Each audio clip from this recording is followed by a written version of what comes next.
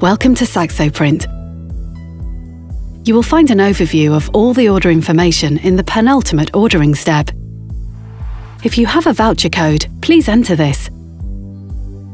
Now check the details of your order.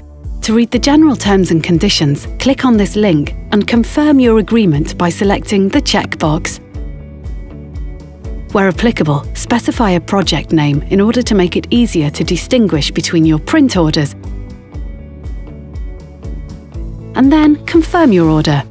The order overview provides an overview of your print order. You will receive an email confirmation for every order. Place your trust in SAXOPRINT, human touch to online printing.